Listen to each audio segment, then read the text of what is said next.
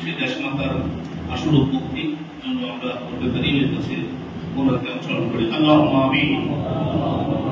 ربنا ظلمنا أنفسنا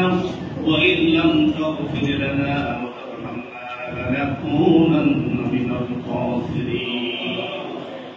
ربنا آتنا في الدنيا حسنة وفي الآخرة حسنة وقنا عذاب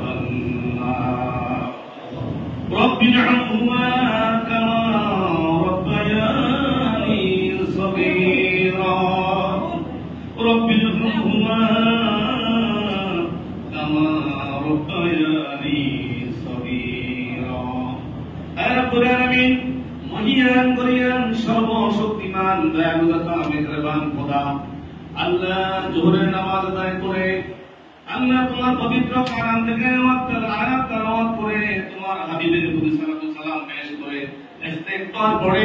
আয় আল্লাহ, বাংলাদেশ জাতীয়তাবাদী আইনজীবী ফোরাম সুপ্রিমপুর সাদা কর্তৃক আচ্ছা আল্লাহ দেশনেত্রী বেগম খালেদা জিয়ার আশুর মুক্তির জন্য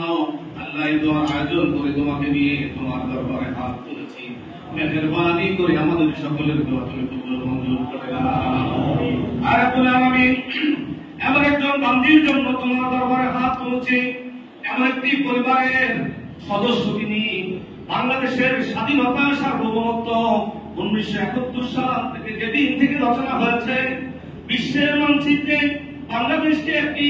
স্বাধীন সার্বভৌম রাষ্ট্র যে পরিবারকে অক্লান্ত পরিশ্রম করে, নিজে যুদ্ধ করে বা বিশ্বের মানচিত্রে একটি স্বাধীন সার্বভৌম দেশ হিসেবে বিশ্বের কাছে পরিচিত করেছে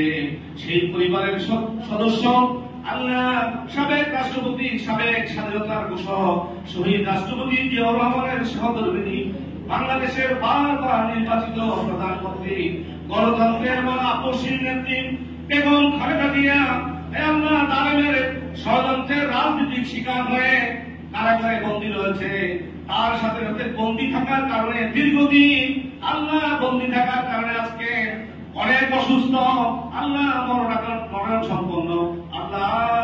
ওই নেত্রীর মুক্তির জন্য, ওই নেত্রীর রোগ মুক্তির জন্য তুমি মাহবুদের দরবারে হাত তুলেছি। মেহরবানি করে আমাদের যা হাত পছন্দ হয়, তার হাতের উসিলায় আমাদের নেত্রীকে তুমি শিপায় আখেরা কামেরা